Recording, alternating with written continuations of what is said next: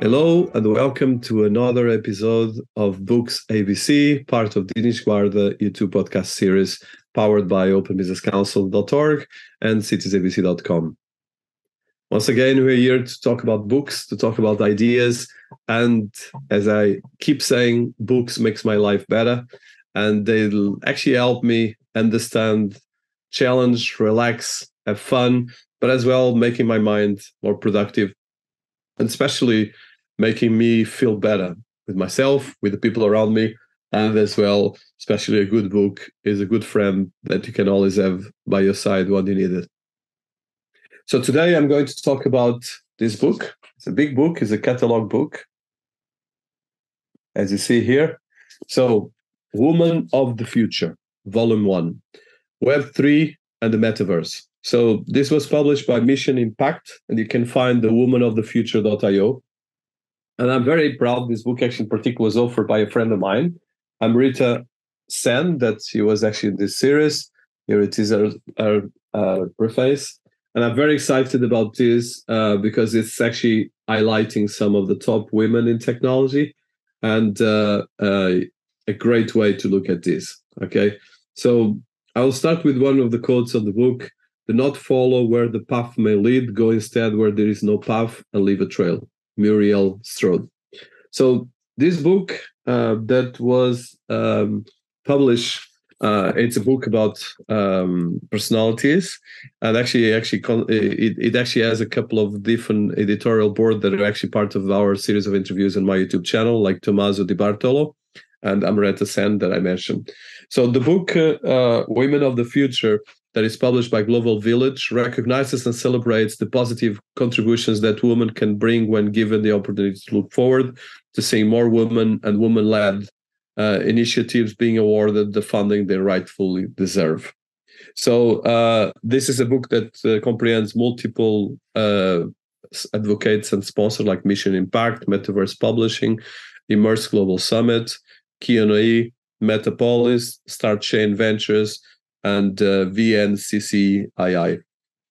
And the book highlights uh, women in from accelerators and evangelists, community building, humanities, health and education, sustainability, music, media and culture, art and photography, advocates and supporters, inspiration authors, fintech and investing and trading, legal, governance and compliance, gaming and sport, fashion and design, VR, XR, VR and AI, and advisory.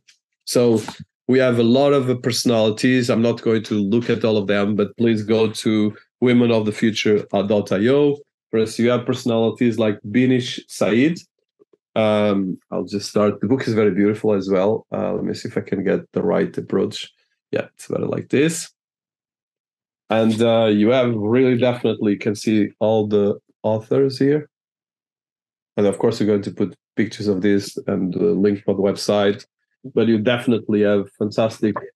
I would say some of the most uh, influential women, like Cathy Hackl, the co-founder and chief of Metaverse Officer Journey. You have Alessa Berg, founder and CEO of Top Tier Impact. Cecilia Mosh Tam, founder and director of Futurity Systems. You have Jennifer Wines, founder and speaker, author, strategy, strategic advisor, Invisible Wealth. Shannon Snow, Chief Operating Officer of World of Woman, World of worldofwoman.art. Amanda Cassatt, founder, Serotonin and Mojito. So that's really every pay, every woman that is highlighted. And for instance, Avery Akkineni, president of Vayner3. And uh, these are, there's a lot of personalities introducing the women of the future highlighting accelerators and all the different organizations where these personalities are. And the personalities, like for instance, Radhika Iyengar, founding partner of Star Chain Ventures. You have Sandra Helou, co-founder and CEO of Metapolis. So a lot of cool stuff that I would suggest for you to look. The book is very beautiful.